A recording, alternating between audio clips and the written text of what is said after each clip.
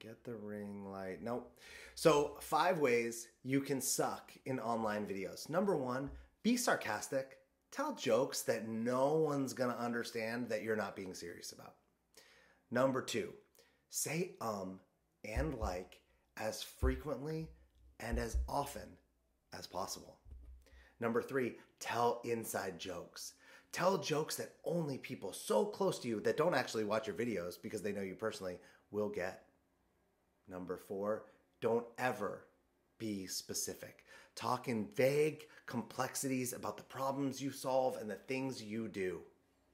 And number five, don't be vulnerable ever. Under any circumstances, never show your heart, never show who you are or what you're really about.